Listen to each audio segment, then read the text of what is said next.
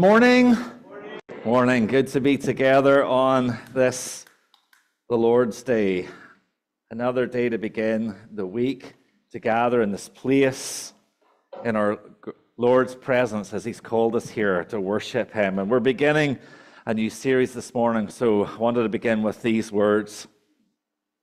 Uh, those of you who know me, um, especially when Daniel was here, I used to keep him going a little bit because he was a lover of John's gospel. But I tried to convert him because obviously the best gospel is Matthew, of course.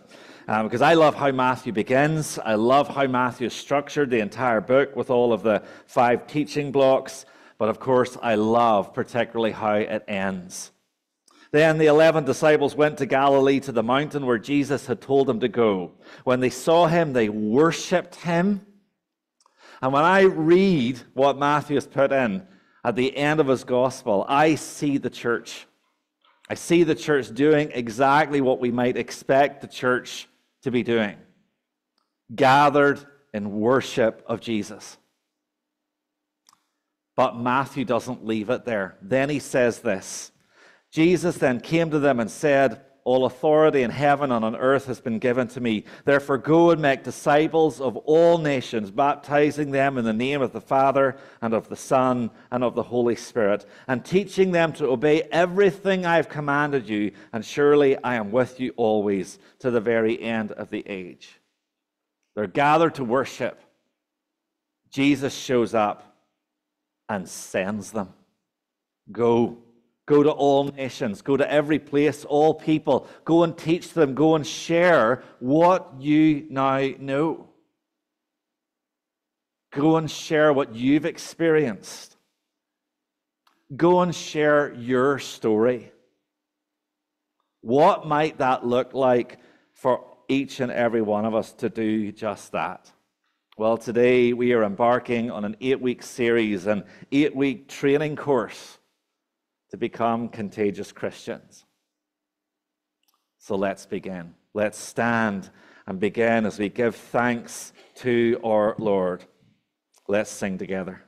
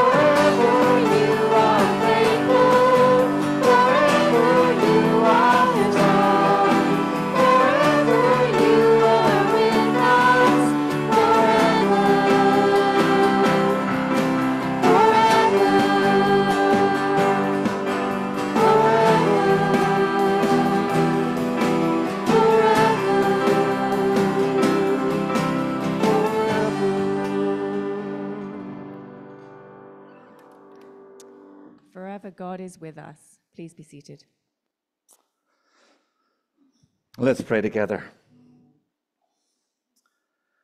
Father God, thank you for the privilege that you have granted to each and every one of us, your people, to come before you at the beginning of another week, the beginning of another awesome day.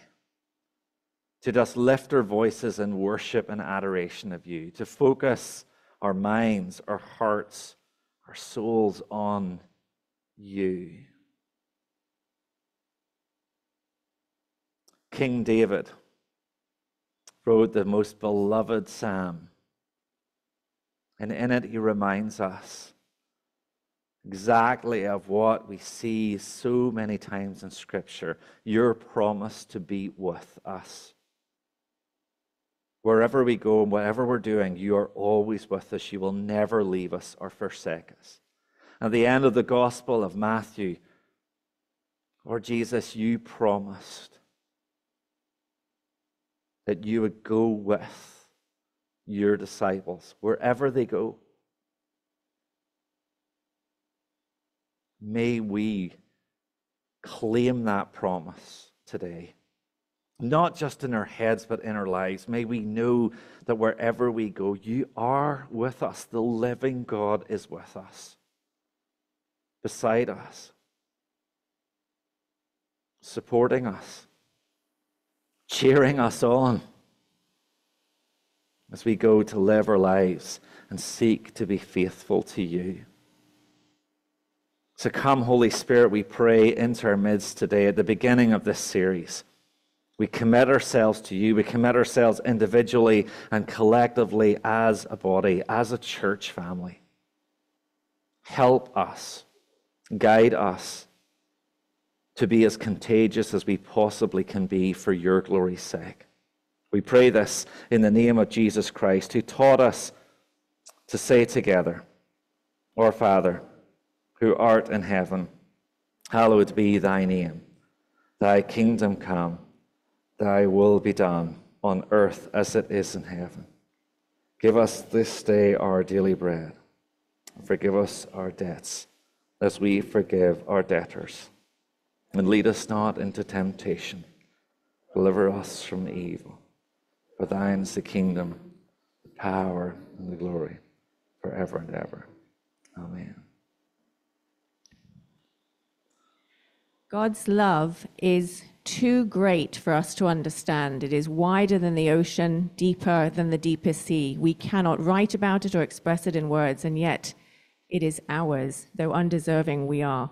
Let's stand and sing the love of God.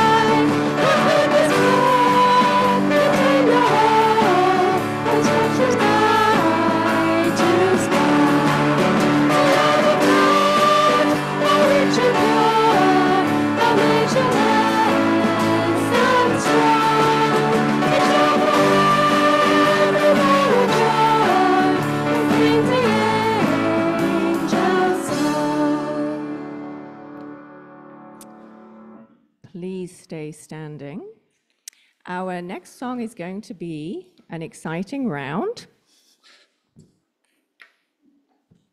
But we're going to give you an opportunity to learn it first. So we're going to do it all together once, and then we will pause, and then you'll get instructions. But another song that describes God's amazing love for us.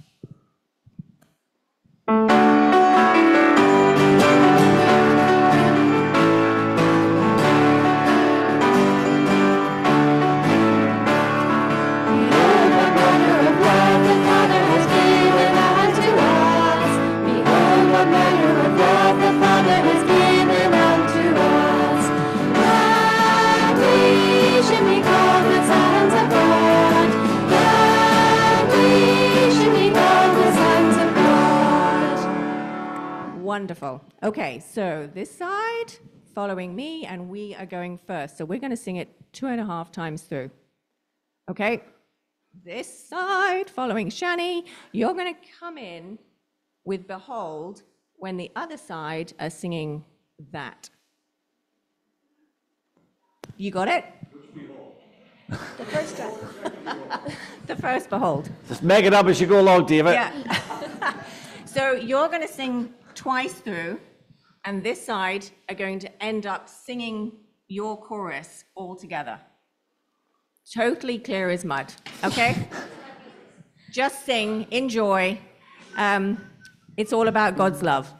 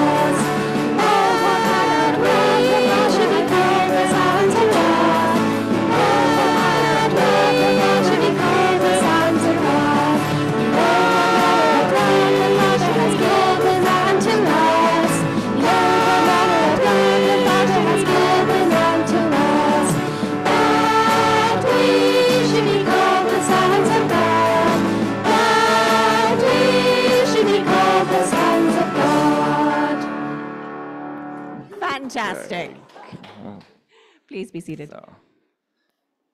I know it's not a competition, but we won. Uh,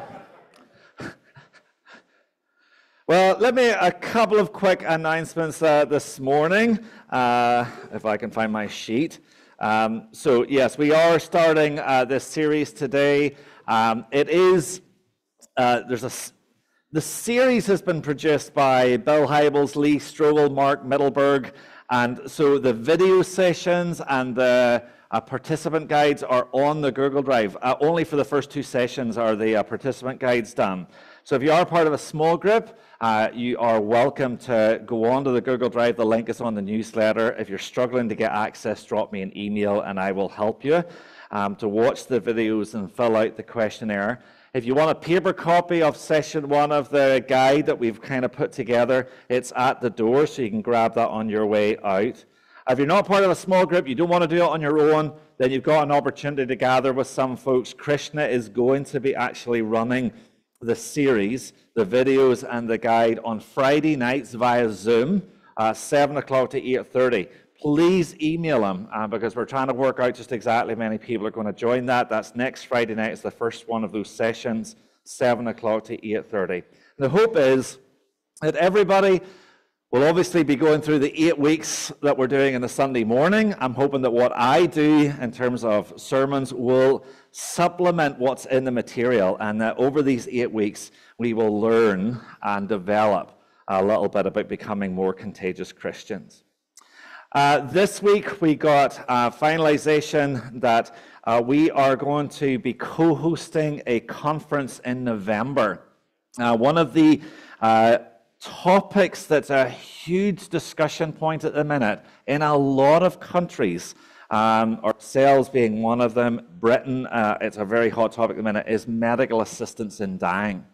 And so um, I've teamed up with Todd Weeb and with Sam Gutterberg, who's actually the new minister up at North Lonsdale United Church. And between the two of us, Sam and myself, we're actually going to be co hosting a conference Friday night, the 15th of November, Saturday, the 16th of November. I know it's early notice, but just to kind of get it into your heads, because there's probably neighbors, friends you have, and this is a topic that people are talking about. Like the numbers are staggering of the number of people that are going for MAID at the minute. And we're just wanting to have a conversation. Uh, Professor Jason Byassee is coming in uh, from Toronto to actually lead it. We've got a number of people on a kind of discussion panel, going to have some breakout groups, question and answer times. More details will come, more advertising will come, but just get it uh, in your minds that we are planning to do that. And I would encourage you to start praying over it um, because we want, Sam, Todd, and myself, our goal is trying not to sound as if we want to tell the community what the church thinks about MAID. That's not the goal. The goal is to actually offer some tools to the community to discuss and think about MAID dying uh, better. Um, so that's kind of the, the, um, the goal of that. So I'd encourage you to be thinking and praying about that. Our Christmas market is coming up this year. Uh, we are actually slightly different. We're actually hosting a Christmas market. You think, well, what does that mean? Uh, Dale, uh, Delbrook Community Centre uh, is not there anymore. And that's usually where there was a big Christmas market. And so we're actually going to host one here. So we've opened it up to vendors to actually come and uh, have a table, rent a table here, and provide a service to the community. So again, if you know people in your communities, friends, neighbors, who like these kind of farmers market kind of things, and they, you know some vendors that would like, please get them in touch with us. Uh, we have a Google form. I'm not totally certain, Alana, how it's advertised, how they access that. It's, it's just, where is it? Is it just on our Facebook page or? Yeah, so, it, and the, the um, like marketplace and stuff is where they would most of the vendors would tend to go to find out where these markets are. But um, it would encourage just to get the word out, and we're trying to put it together to have the, the the building full of vendors and provide a service to the community. Again, you think about our November conference and our Christmas market in December, it's just an opportunity for us to have the community come in, for us to get to know the community and for them to get to know us. Uh, the Canadian Blood Services are starting to come back. That's not going to be this week, but the first Wednesday in October, and they'll be here every other week as well. And so we're hoping, uh, again, just through some advertising, we've updated the front entrance, that people will get to know us a little bit better.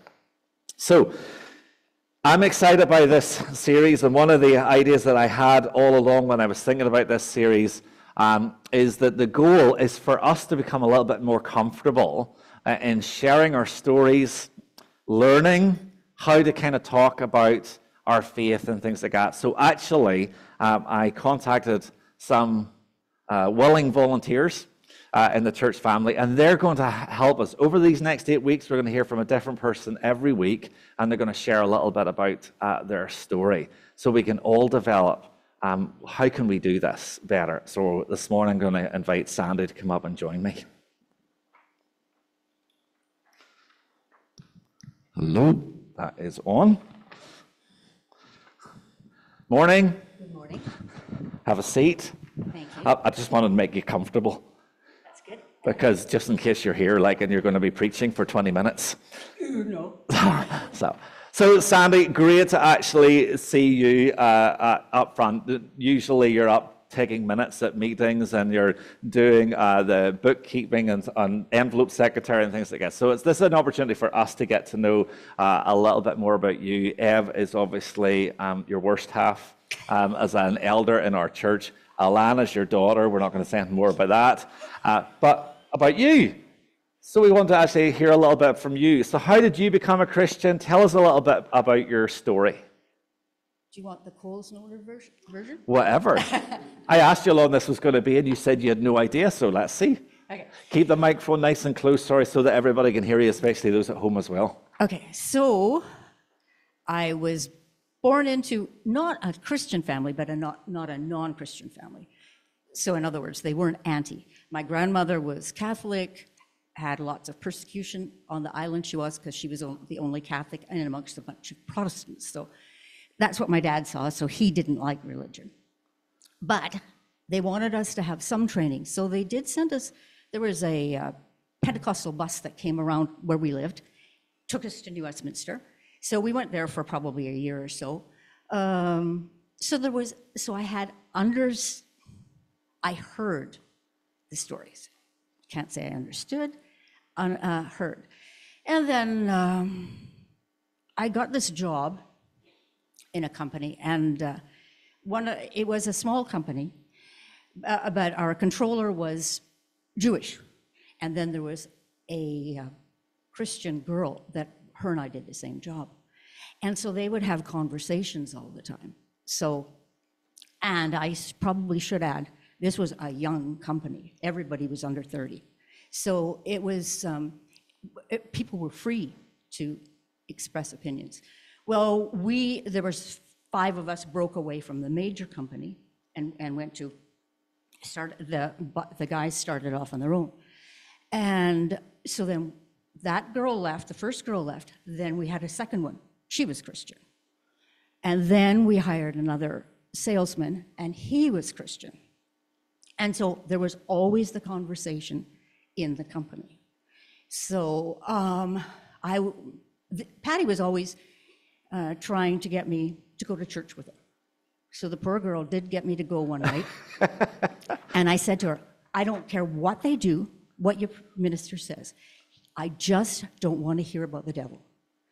So his last words were, as soon as you walk out that door tonight, the devil is going to be after you. So you have, you have to rely on God to protect you. But anyways, so I didn't go back to her church again. Uh, Well, then, I, then I had, then there was the year. Uh, Oh, sorry, I should add, during all that, I would listen to Billy Graham. And there was another fellow in Vancouver, I don't know, some people might know him. His name was Terry Winter, and he was a lovely, gentle Christian. In um, Billy Graham type, very soft, where uh, didn't matter what you had done, Jesus could forgive you. And that was the big thing, because we all feel guilty for something. I felt guilty because I'd been very mean to uh, a girl I went to school with who was Christian. Then they moved away, and I had to write, I was sitting there on the floor in tears because I'd been so mean to her, so I wrote her a letter. Anyway, so I think God was working on me for many years. And then there was the year. I took a photography class, and there was a young lady I was partnered with. She was a Christian. I went to see my friend in New Brunswick, and uh, I had a long stopover in Montreal. And there was this beautiful young girl who came and sat beside me. And this girl was an on fire Christian. And it was, so I was so, two hours we were there. So then I was really happy. I got in the plane and I go. The flight attendant came along and said, Is anybody sitting in the seat? And I went, No. She says, Well, there's a really rowdy group up the front and somebody would like to move back. Would that be okay? Sure. It was that girl. So, so I, from Montreal to Vancouver, I heard, and she was just, she was really lovely. She was coming to get married. So, anyways, and my uncle came that year. And we were driving down Willingdon because him and dad and I were going to Horseshoe Bay. And he was talking about why he knew Jesus, who was who he was. And that was because of the reaction of the disciples. Now, we've probably heard that loads of times, but that time it took effect. So then I went to, um, I went back into work and I said to Patty, you know, Patty, I think God's trying to tell me something. she was so happy, so happy. Anyway, I started going to a church on and off in Coquitlam, and uh, it was good. I still wasn't committed. But then um, one night, I uh, went to the pub where I used, with people I used to work with. And I'd heard about Ev, that he was. Oh, we've all heard about him. Yes. Yeah. So this poor fellow, he says I gave him the Spanish Inquisition because I was going to line, I was going to line him up with Patty because she was, we're looking for a nice Christian fellow to marry because she said that's it, I'm not going to date any more non-Christians. So I was going to line them up. So that was the deal. So anyway, I did give him the Inquisition for her because it was safe. So I wanted to know if he would date a non-Christian, would he marry a non-Christian? And there was, must have been loads of other questions in there. Anyway, so he eventually phoned me the next week and we did go for coffee. So, and then I started coming to this church. Then uh, uh, got to meet Henry and Leola, and things changed. Like um, Patty was still there in my life, encouraging me. Dave, the other fellow from, he was encouraging me. They were so excited when they thought that I was going to go to church. And I just felt like that year, God was roping me in, making sure he had, he put everything there for me. That you can't, you're not going to, you're not going to turn your back on me this time. Yeah, so I- so I'm I'm intrigued. I, I, listening to your story, two two things jump out at me: the number of people that have been involved in it, that have been sharing and kind of talking to you about um, Jesus. I think for some folks, it just feels like those conversations never happen anymore. We don't actually talk about Jesus and kind of open to have it in your workplace. Um, but you've had loads of um, loads of conversations with with other people and people involved uh, in your life, kind of um, prompting you to kind of think more about faith and stuff. So it, when you when you think about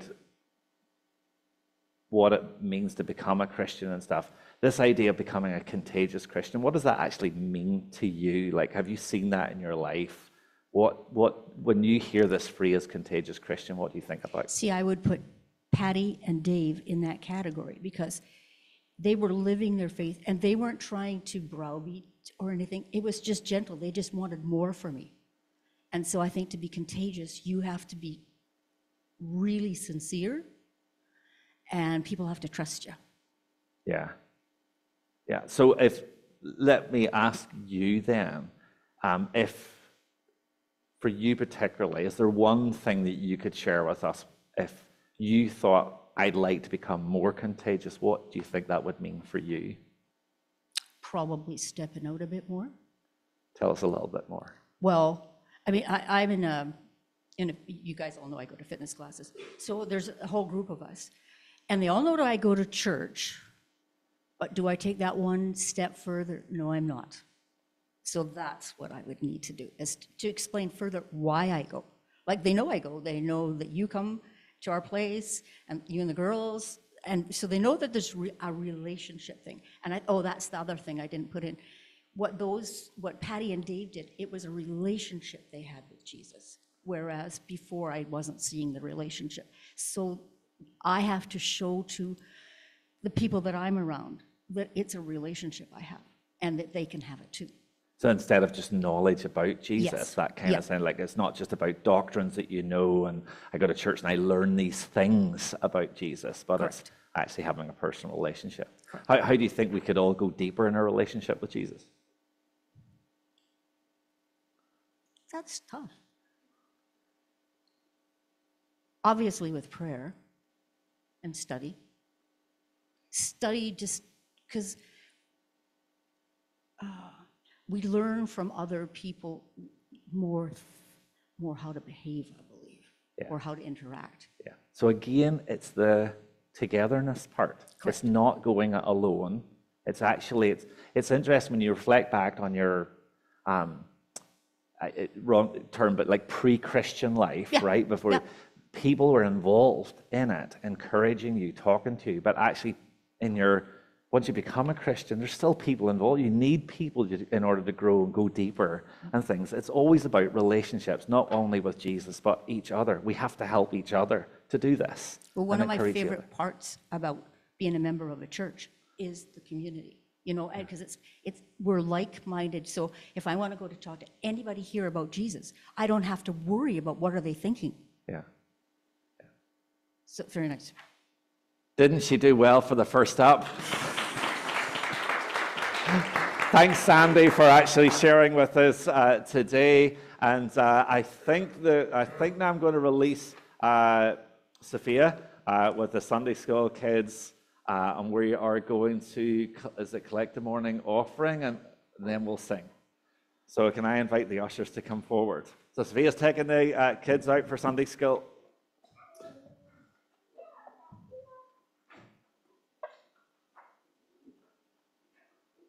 Let's pray.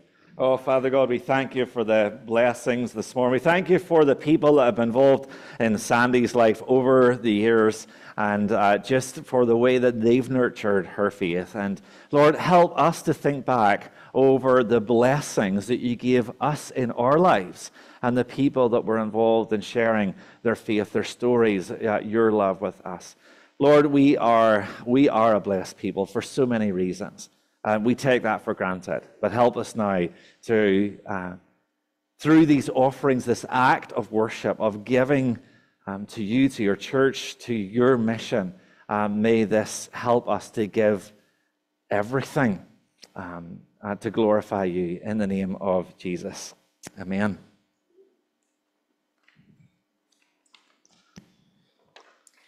As the offering's being collected, let's start to quietly sing How Deep the Father's Love for Us, a song almost of confession that it was our sins and our mocking voices that kept Jesus on that cross, and yet his love for us still forgives and redeems. So as the offering is collected, please feel free to stand.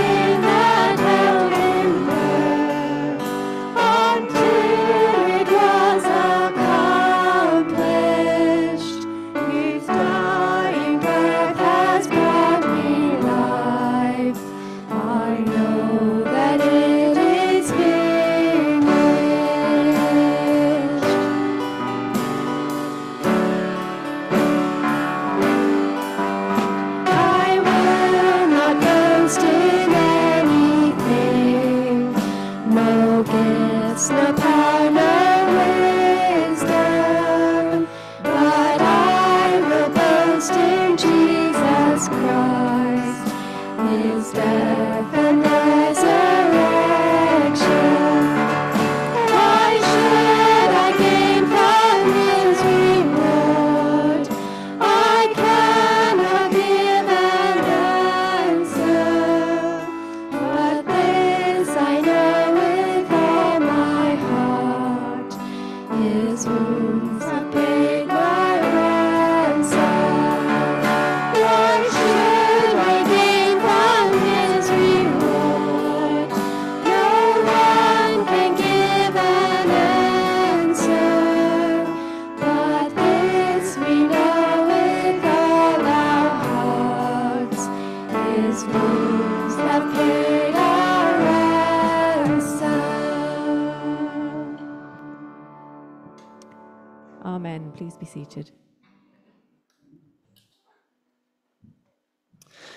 Would you come and lead us in prayer this morning?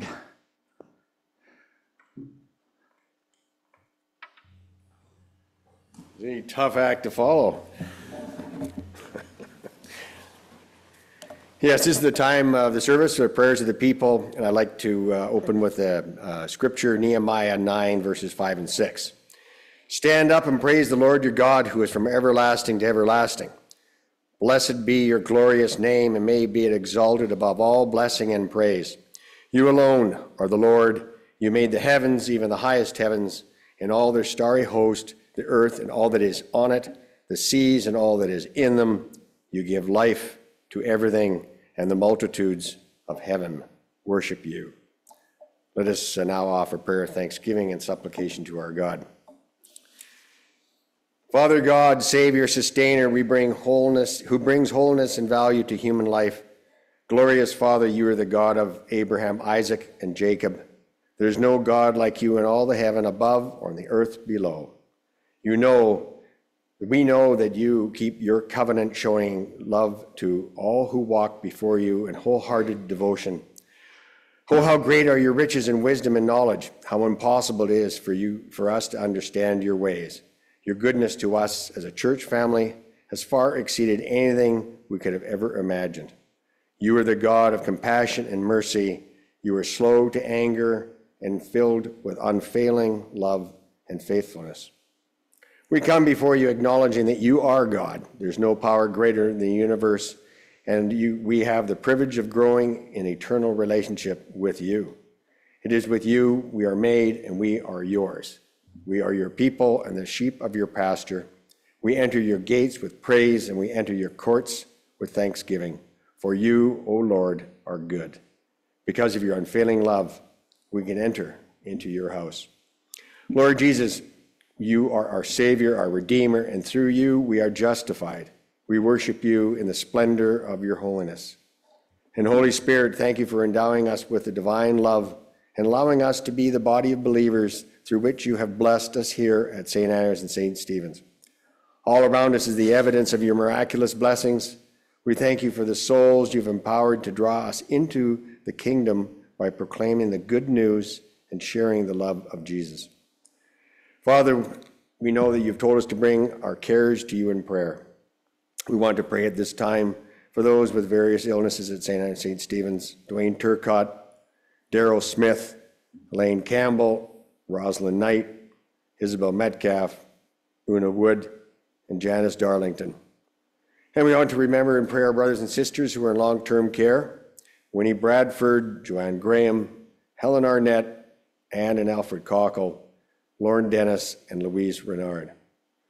Almighty God, whose kingdom is everlasting and power infinite, have mercy upon Canada and inspire our leaders that they may seek you, seeking wisdom and willingly obey your commands.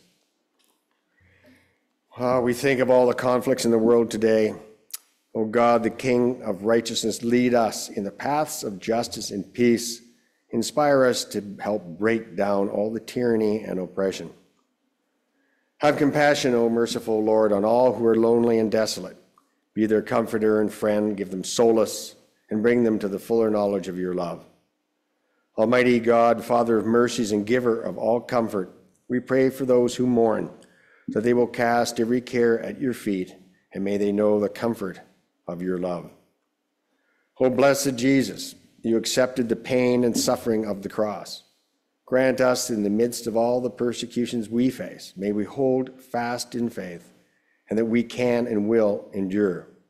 May our perseverance honor your name. All powerful Father, help us not to bring sorrow to you by the way we live, but teach us how to revere and treasure you and your covenant with us. Help us to remember that our bodies are your temple and we do not belong to ourselves. Remind us to be more grateful and to for, never to forget the good things you have done. You forgive our sins, redeeming us from death and crowning us with love and tender mercies. Holy Spirit, keep us mindful of your presence in our daily lives and help us to be quick to respond when you move us to action. Please touch the hearts of those who do not adore and accept you as their Lord. Help them to love Jesus with all their hearts, soul, and strength. Patient Father, help us not to yield to temptation, but deliver us from the evil one. Let us never grow so comfortable and complacent that we fail to notice the beauty of Jesus' love, the faithfulness of his mercies, and the sweetness of his magnificent grace. Help us to lift our voices in thankful praise to him and bow before him in adoration. Holy Spirit, remind us of all those we need to forgive and help us to be quick to forgive. Bless us, so in turn we will be a blessing. And in Jesus' name we pray. Amen. Eileen, would you come and read scripture for us?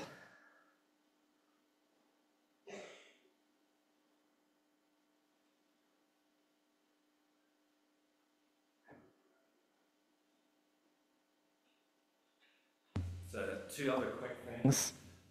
One is it's la- next Sunday is the last Sunday of the month.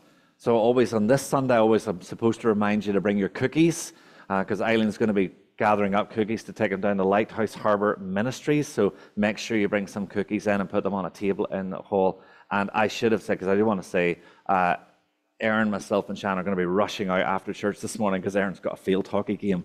So apologies. Um, but we're going to be out the side door uh, so I don't get told off about getting her there too late. But she will be late because it's a long sermon.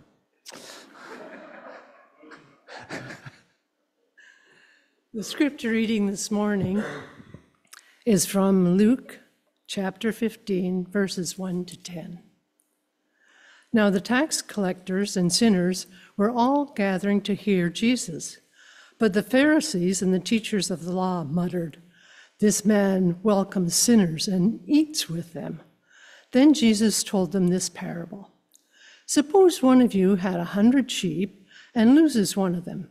Doesn't he leave the 99 in the open country and go after the lost sheep until he finds it? And when he finds it, he joyfully puts it on his shoulders and goes home. Then he calls his friends and neighbors together and says, Rejoice with me, I have found my lost sheep.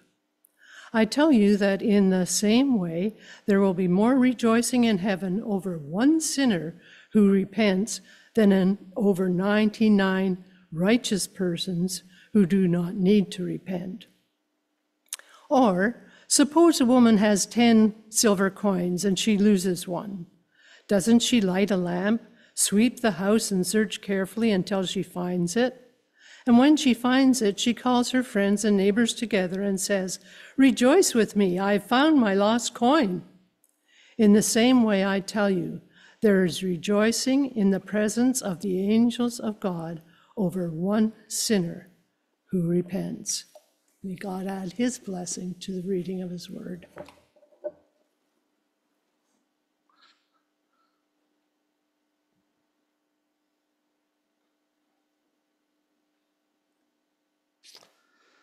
So, why embark on this series um, during this fall season? Why should we endeavor to become contagious Christians? Well, as, I was, as I've been mulling over this series for a few months, I've come to two different but complementary answers about why we should become more contagious. Two sides of the same coin, you might say. The first side is basically what I spoke about last Sunday when I was looking at who we are, what it means to be a church, when I was looking at our vision and our mission. In many ways, last sermon, last week's sermon was the first half of the introduction to this entire series. Because I think it painted a very clear picture of what Jesus wants us to do. We looked at the stories in John chapter 20 and John chapter 21. After the resurrection of Jesus on that first Easter night, the disciples, John tells us, are in the upper room with the doors locked. There are perhaps many reasons for those doors to be locked, but I think we get the sense that the disciples are huddled together in that room and they give us a picture of what the church in general has become. The church huddled. They're disoriented by events outside of their control. So the disciples that night don't know what to do. Their master was crucified on Friday. When they went to the tomb that morning, the stone was rolled away and his body was gone. They're trying to work out what it means for them. What should they do now? Where should they go? So the disciples that night are a bit lost. The world has been turned upside down, and so they go to the place that they've shared a meal with Jesus on that Thursday night, because it is there that they find some comfort, some blessing, something to cling to. In a real sense, that room becomes their church building. Jesus shows up, and as we saw last week, he breathes on them.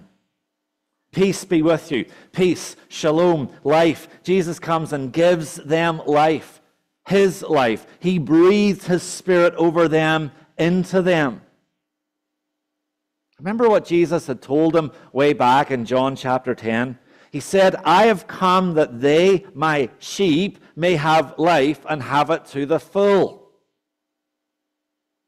So, having received the Spirit of Jesus, the disciples at that point are full, overflowing in the abundance of Jesus.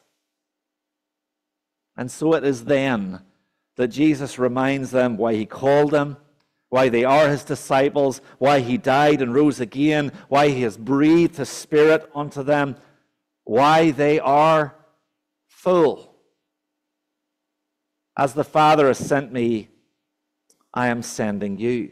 I am sending you out, out beyond these walls, outside of this room, beyond a church building. John switches gear or scene, and the very next thing he tells us is that the disciples have decided to go fishing, which for the most part is something they are experts at doing. They've been fishing their entire lives, and so they go and they do something they know they can do. But, John says, they catch nothing. After a long night, nothing. Well, guess what? Early in the morning, Jesus appears and stands at the shoreline. The disciples at this point don't realize that it is Jesus. He calls out to them and says, Children, haven't you any fish? No, they answered. So Jesus immediately speaks again and says, Throw your net onto the right side of the boat, and you will find. There are a ton of good, sensible reasons why casting their nets on the other side of the boat makes absolutely no sense whatsoever. But the story is being told to us by John so that we get the point. Jesus tells them to do it. They do it. And having done it, they catch an enormous catch of fish. Jesus had told them in the upper room, As the Father sent me, I am sending you. Sending you, sending us where? Outside of these walls. What are we supposed to do? Why would Jesus be sending us outside of the comfort of a church building and church meetings and gatherings? Cast your net on the other side of the boat. Follow my word. Put your trust in me. Obey in what I obey what I've told you about me. Catching fish is what Jesus has commissioned the church to do. The funny thing is, I don't think that's a surprise to anyone. You've gone to church long enough, you hopefully have heard a sermon or two on the fact that the gospel is not something to be kept in a box inside a church building. The gospel, the love of Jesus, is something to spread to the four corners of the globe. And Jesus wants his church to do the spreading. Go and share this love. Jesus wants us, the church, to catch fish.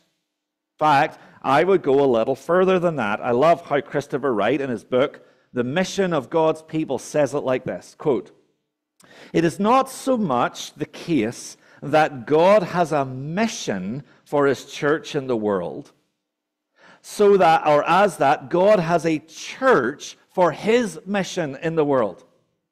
Mission was not made for the church, the church was made for mission. God's mission. I love that. It's because you see, it's not that Jesus shows up at the side of the shoreline that day and he's seeing a bunch of disciples with nothing to do. So he thinks, well, I need to get them to do something, so I'll give them a mission to occupy their time. Cast your net on the other side. That's not what's happening. Jesus' plan for the entire world is about catching fish, redeeming everyone and this place, this planet we live on. And in order to achieve that goal, Jesus has formed a church. And into that church, his followers then get blessed and commissioned. Through you, Jesus is saying, you will achieve my vision. Will, not hopefully. Jesus is not creating this thing in a pipe dream. You will. Cast your net on the other side. You will. Therefore, as Anderson St. Stephen's Presbyterian Church, our mission statement is encouraging. And I ended up with that last week, inviting all of us let's recommit to present Jesus' good news to the world. Let's aspire to follow Christ's teaching. What was that teaching? Love the Lord your God with all your heart, soul, strength, and mind, and love your neighbor as yourself. And let's seek, by serving our community, to share God's love with our neighbors.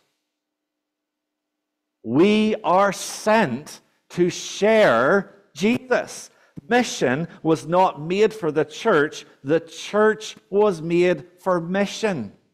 God's mission. But I want to switch gears. I want to flip the coin and look at the second part of why I think the church should become as contagious as we possibly can be. And again, I don't think any of this is a surprise. A lot of men and women of doubtful reputation were hanging around Jesus, listening intently. The Pharisees and the religious scholars were not pleased, not at all pleased. They growled. He takes in sinners and eats meals with them, treating them like old friends. And their grumbling triggered Jesus to teach three stories in Luke chapter 15. I love how Luke introduces these wonderful stories in Luke chapter 15. He opens up the chapter, and you know what Jesus is doing? Catching fish. People who are in desperate need of being saved, the down and outs, in his words, they are being drawn to Jesus because they're being drawn to Jesus' character, his grace, his love, his mannerisms, what he's teaching, what he's sharing. So there he is, Jesus, beginning of the chapter, catching fish. And those that represent the established church, they're also there. But they're grumbling. He shouldn't be doing that. He shouldn't be catching fish. He shouldn't be welcoming those good for nothings, those worthless beings. Why? Because he's already got us. He's caught us. We're the good guys. In our opinion, Jesus should just show up every week in the upper room where the church gathers, and he should do what he should do bless Bless those that have come. Breathe on them. Give them life. Not worry about those who are outside the walls. They're grumbling. Jesus knows they're grumbling. And so he teaches three stories. Suppose one of you had a hundred sheep and lost one. Well, I grew up in Northern Ireland. I saw sheep, cows all the time, but I have absolutely no idea how to shepherd any of them. But I can imagine a scenario where in a large area, like down in round County Down, up and around the Mourne Mountains, where you would lose a sheep or two. One would just wander off, get lost. One would find, fall down into a ravine or a crevasse, or, you know, one would become lunch for the local wildlife, right? Okay, Jesus, this sounds, I can kind of understand where you're going with this story.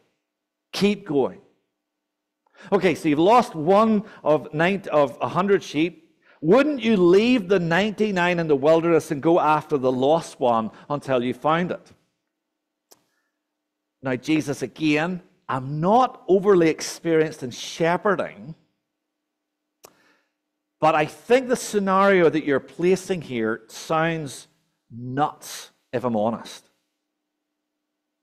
I don't actually think I would leave 99 that I currently have in the open country and go off looking for one, go off in search of one little lost sheep. That doesn't sound sensible.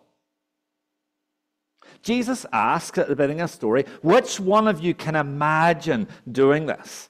The answer, Jesus, to your question is no one. No one sitting around is going to do what you're suggesting. So, Jesus, where are you going with this story? What's your point?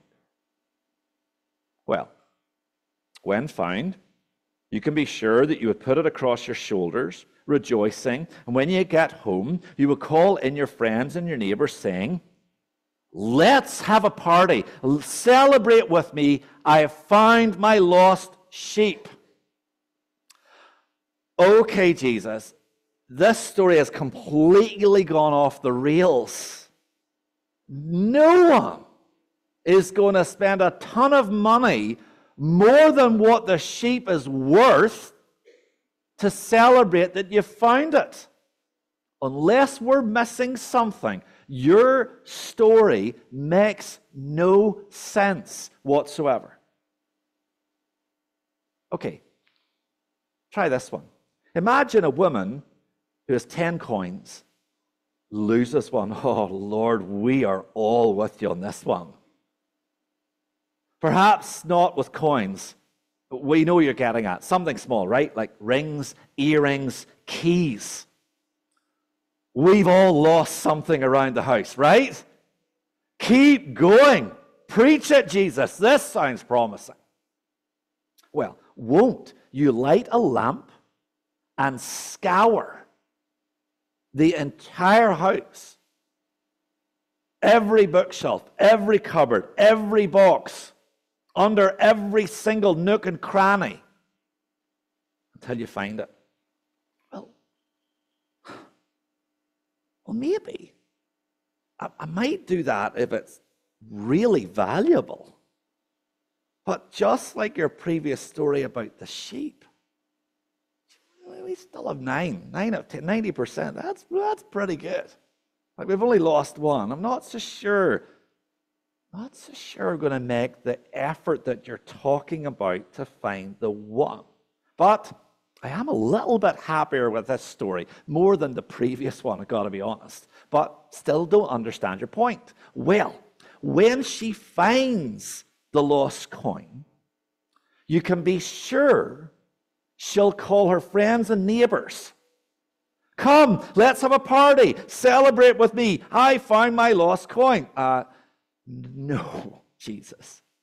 No, that's not going to happen. Just like the first story, you've gone too far. Jesus, you need some basic economics classes, right? She's lost a coin that's worth X. She finds the coin that's worth X, and you're suggesting she's going to spend 10X to actually have a party to celebrate that she's found 1X. It doesn't compute, it doesn't add up. Something's not making sense with these two stories. Are we missing something? Can you imagine sitting that day? You know, we've all heard these stories read so many times in church, but you actually put yourself in the crowd. Be, be part of the crowd in the middle, listening to Jesus tell these stories. I, I'm a bit of a people watcher. The, the girls are not happy with it. They think I stare. Uh, maybe, right? I just, I'm just, I just, I'm drawn to people and watching them walk from the right to the left. I think that's a bit freaky. I should try and get over that, I think. But I am a people watcher, so I can imagine scanning the crowd and reading their faces, seeing their body language as they're listening to Jesus tell these stories. And I can imagine seeing two distinct things that day. First, the religious folk, the church folk, they're baffled, totally confused, and actually they're fidgeting because they're uneasy. They, there's something about what Jesus saying they don't quite like. The implication that the lost sheep and the lost coin are of almost an incredible value. So much so that when they're found, there would be this party to celebrate them. Bonkers. We like our budgets. We wouldn't do this. But as I keep scanning the crowd, there's another group of people that appear to be responding to Jesus quite differently. The ones who were introduced at the beginning of the story as being worthless, the down and outs, the lost, if I can say it like that, they don't look uneasy. In fact, their eyes are kind of bulging. There's almost little smiles appearing on their faces. And actually, their body language is telling me they are leaning in, leaning forward to Jesus. They are intently listening to him. And they're almost anticipating that something is going to be told to them that will blow their minds. Why? Because I think they're hearing something that is giving them value that they're not worthless, but are more than they can even imagine that they are. There's hope expressed in these two stories thus far that Jesus has told. That perhaps someone might care enough for them to move heaven and earth to find them. Is there a chance that someone might care for them enough to move heaven and earth to find them. Is that what Jesus is getting at in these stories? Jesus can see the response of both groups. And so he continues. There was a man who had two sons. Now, Jesus tells the story that has become known to us as the parable of the prodigal son. What a misleading title that is, given the fact that the father has two sons in the story. If you've never read the story, I'm inviting you go home and read it. In fact, I'm encouraging you. In fact, I'm really saying go home and read it over and over and over again. Read this story in Luke 15 at least once every day for the next week. Every day during this next week, read the story of the prodigal son and ask yourself one question why should I become a contagious Christian? Why should any of us seek to become contagious Christians? Because every single prodigal, no matter who they are, no matter what they've done, no matter how worthless they might see themselves or how worthless we might see them to be, once they are found, the Father is going to host the biggest party we can imagine to celebrate that the one who was lost is now found. I told you this should not come as a surprise. This story explains why Jesus came in the first place. In his eyes, the world was full of prodigals. Every single person, all of us are the prodigals.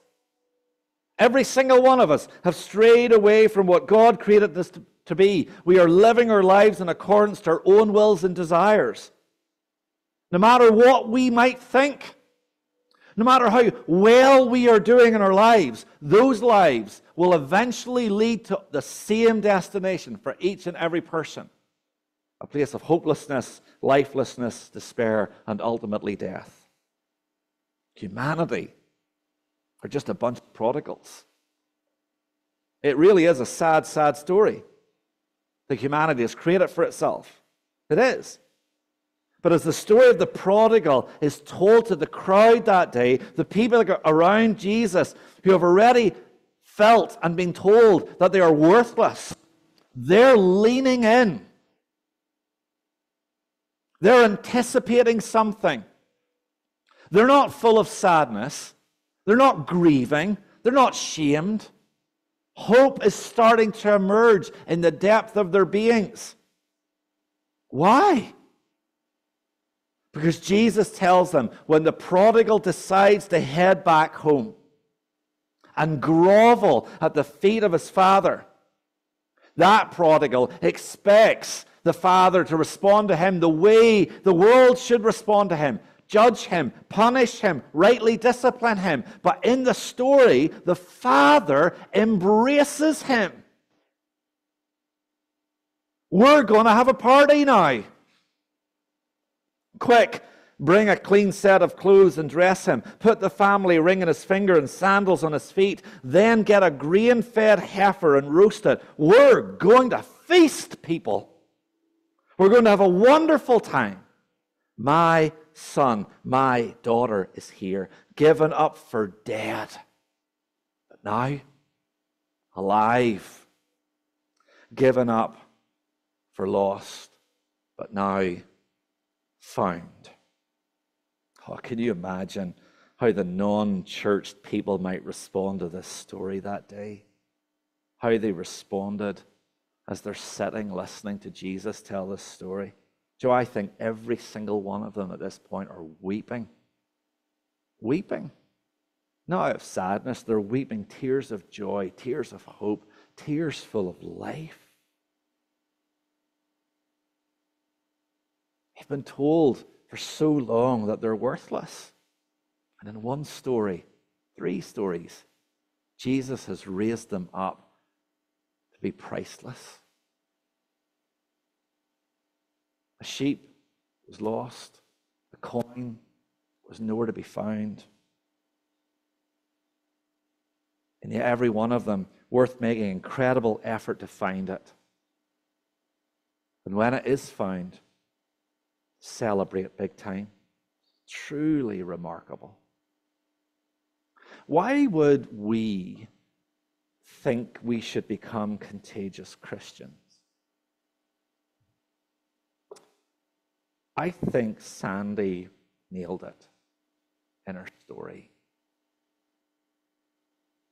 She didn't call herself a lost sheep or a lost coin. But I think her story tells us that's exactly what was going on. Because there's millions of Sandys out there. Millions. Lost sheep and coins, lost sons and daughters. In the eyes of Jesus, they are priceless. In the eyes of Jesus, every single one of them is worth giving his life for. He came from heaven and gave everything to save all prodigals. What's preventing the church from being more contagious? Well, the religious folks are gathered around Jesus and they've been listening to these stories.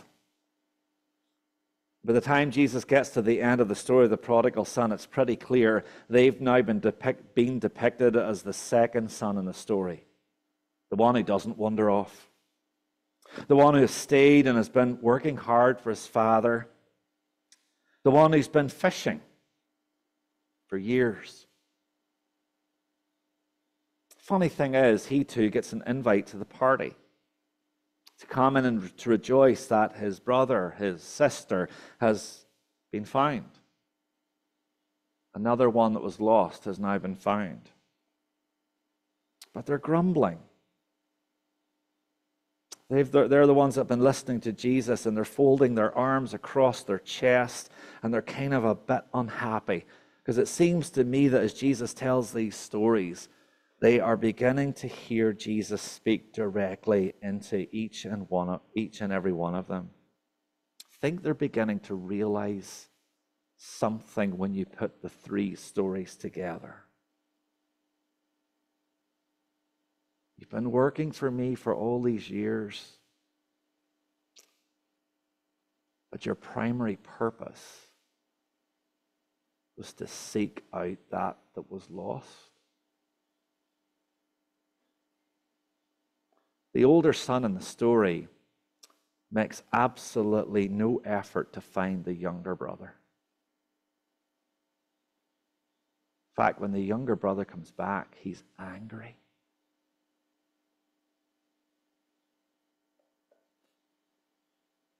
The older sister in the story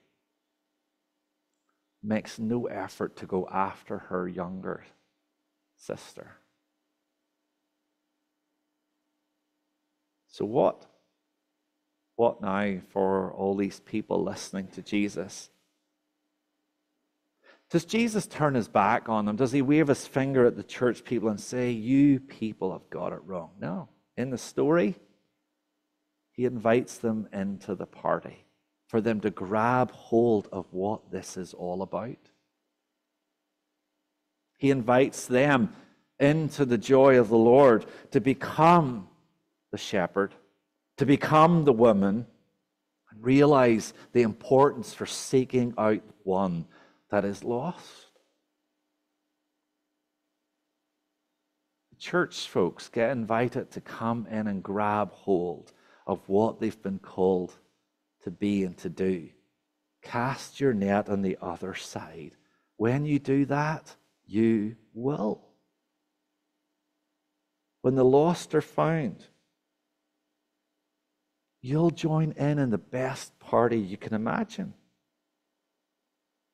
Because you see, finding the lost is going to fill you. We all know that when we go to a party, we all fill, are filled with life. And we're invited to a party that is beyond our imaginings. Why become contagious Christians? It's who we were created to be.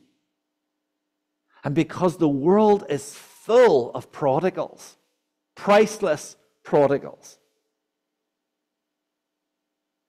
And heaven wants to have a party.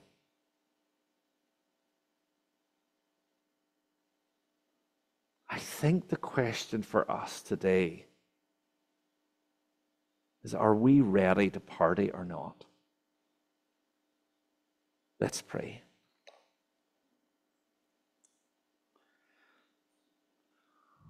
Lord Jesus, gathered at your feet, listening to these well known stories. We've heard them so many times read, we've heard them so many times taught. We pray today that these stories will not just remain stories, but these stories will becoming a live, become a living, breathing reality in our lives, in the life and ministry of this church family. We would just grab even just an ounce of how precious in your sight are the lost. Because we too were lost. And you find us. You find us through the help of others. We think of Patty and Sandy's story and others. And if we all think back to our stories, there's always been someone helping to find the lost.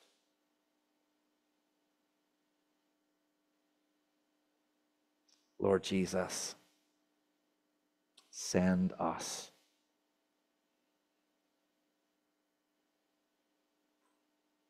To find those that are lost. In the name of Jesus Christ, our Lord and Savior, we pray. Amen.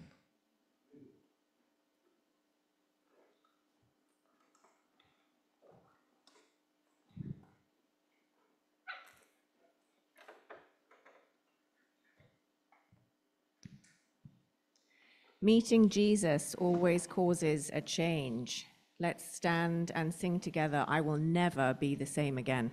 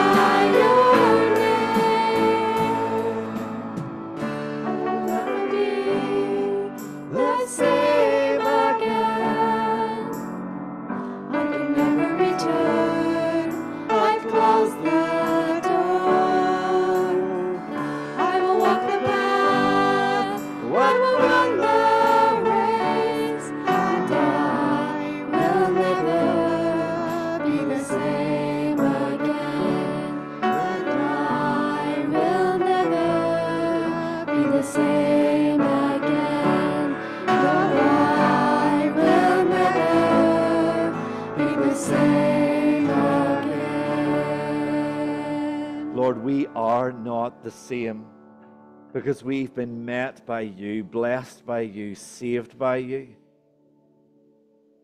So may we never go back into the room and lock the door.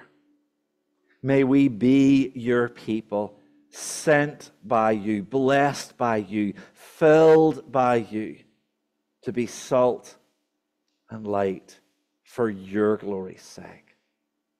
Lord, give us eyes to see. Give us hearts that are open enough to see the lost. Not merely to see them, but to seek them.